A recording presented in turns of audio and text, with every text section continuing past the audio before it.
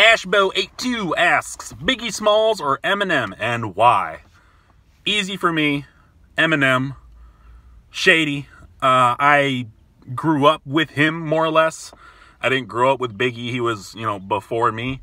So, um, as a younger brother, uh, I more or less had to listen what my two older brothers listened to because, you know, as you don't have a choice because they're going to listen what they listen to. We go to, they take me places, they're listening to their music, so I get into what they're listening to. They were listening to Eminem, you know, Slim Shady LP when it came out. So I got into that and then it you know, went on from there. So that's why. Um, so I never really got into Biggie. I, I literally haven't listened to a full uh, Biggie album. I probably should, but I haven't. You know, I know all his hits. You know, Hypnotize, uh, Big Poppa, but you know, More Money, but Shady. Um, I I'm gonna go a little further. If I had to rank them, rank the albums, uh, would have to go Marshall Mathers LP, uh, Slim Shady LP, Eminem Show,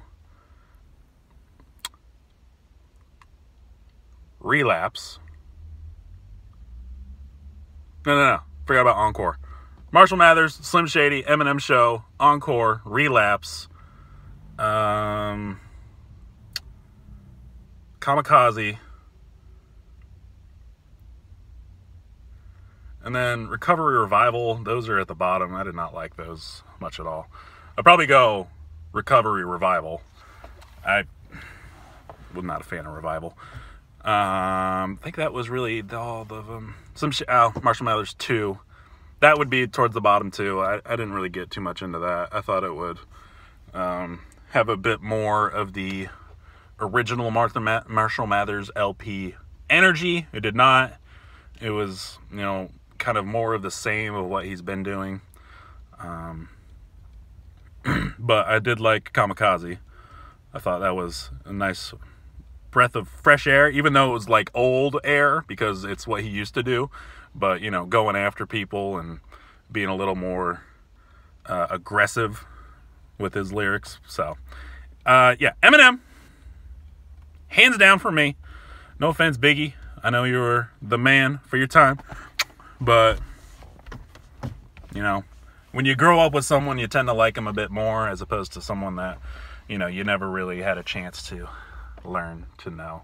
So, thanks for the question. Uh, uh, Biggie, rest in peace. Big Poppa. Uh, Eminem, keep doing your thing. You too, Ash.